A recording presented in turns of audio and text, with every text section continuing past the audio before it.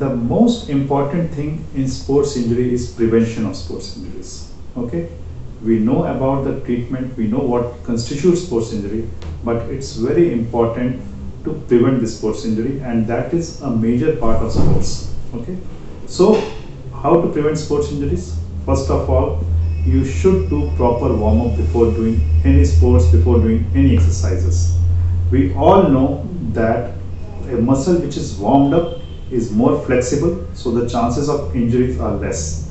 If the muscle and the joints are stiff then there is a high chance that it will undergo injury.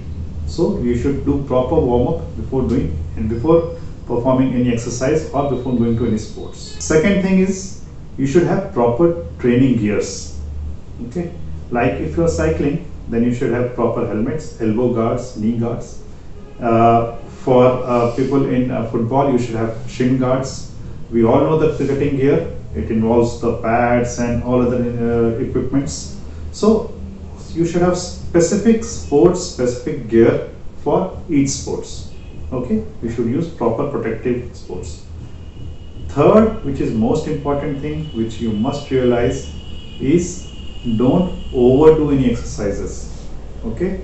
You must know the limitation of your body your current fitness level and you should do sports or exercise within that level and then gradually try to go beyond it.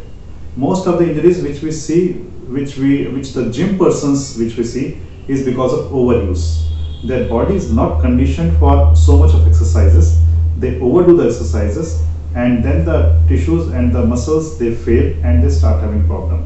So don't overdo any exercises. You must progress gradually. And fourth is you should have proper training. Okay whenever you are starting a new exercise regime you are starting a new sports you should take proper advice from a coach proper training because that will prevent many sports injuries. So if you take all these small precautions this will help you in preventing these sports injuries. I hope you will follow this advice. These are very basic advices and that will help you in uh, achieving great heights. Thank you